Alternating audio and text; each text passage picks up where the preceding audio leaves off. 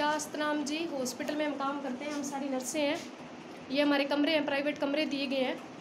कई दिनों से हमारे रूम में छेड़खानी करने लड़के आते हैं। कई बार हमने शिकायत भी दर्ज करवाई है लेकिन इसका कोई कार्रवाई नहीं की गई।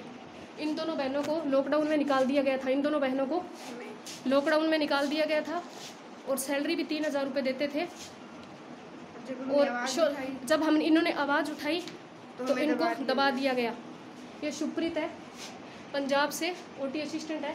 ये मंजू है हमारे कमरे में। हमारे कमरे के अंदर।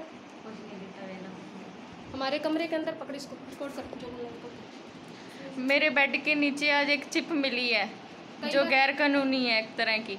हमारे हमारे कमरों में हमारे आके छेड़छाड़ की जाती है हमारे है। रिकॉर्डर भेजे जाते हैं कैमरे लगाए जाते हैं। कैमरे लगाए जाते हैं वॉशरूम में भी पहले कई बार कैमरे लगे हैं। पंद्रह जुलाई की रात को मैं और ये रूममेट है शुभप्रीत और ये। रूममेट है हम दोनों।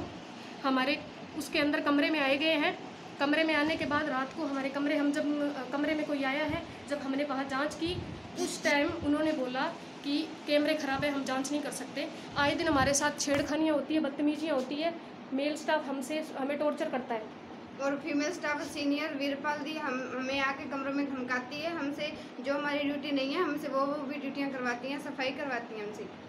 सफ़ाई करवाती है और हमें टॉर्चर करता है। लॉकडाउन में इन दोनों को घर से हॉस्पिटल से घर भेजा गया था। जब कार्रवाई की तो हम सबसे स्टाम्प लिखवाए गए सबसे स्टाम्प लिखवाए गए थे। लिखवाए सबसे ज़बरदस्ती। लिखवाए गए ज़बरदस्ती। लिखा हुआ था उसके बाद खाली मैटर खाली स्टाम्प थे उसके बाद मैटर लिखा गया है लिखवाया गया था स्टाम्प स्टाम्प लिखवाया गया था स्टाम्प लिखवाया गया था।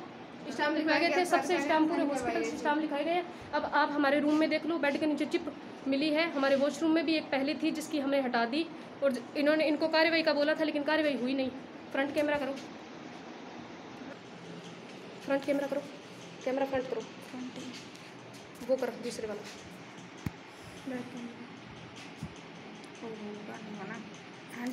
फ्रंट में आपको दिखाएँगे चिप। हम चारों स्टाफ है, देख लो। पाँचों है हम। पाँचों स्टाफ है। मंजू, हम सबको टॉर्चर किया जाता है। शास्त्राम जी सार्वजनिक हॉस्पिटल यहाँ पे विक्रमजीत सिंह इंसा है मोडिया। गुरसर मोडिया जो ये काम करता है सुरिंदर है राजिंदर है और वीरपाल है। पलटो बेड पलटो बेड पलटो। ये देखिए चिप लगाई गई है। ये ये देखिए।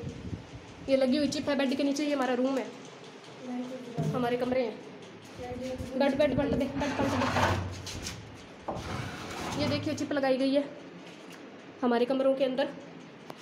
ऐसे गैर कानूनी काम करते हैं यहाँ पे और हमें धमका के रखा जाता है वरना जॉब से निकाल देंगे चल रही है अभी भी चल रही है हमें धमकाएंगे हमें मारपीट भी करने आएंगे हमसे वीडियो भी डिलीट करवाएंगे ये गुंडे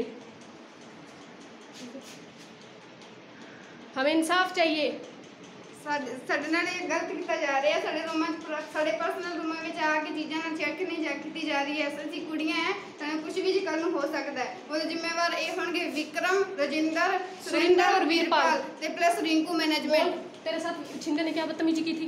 नहीं,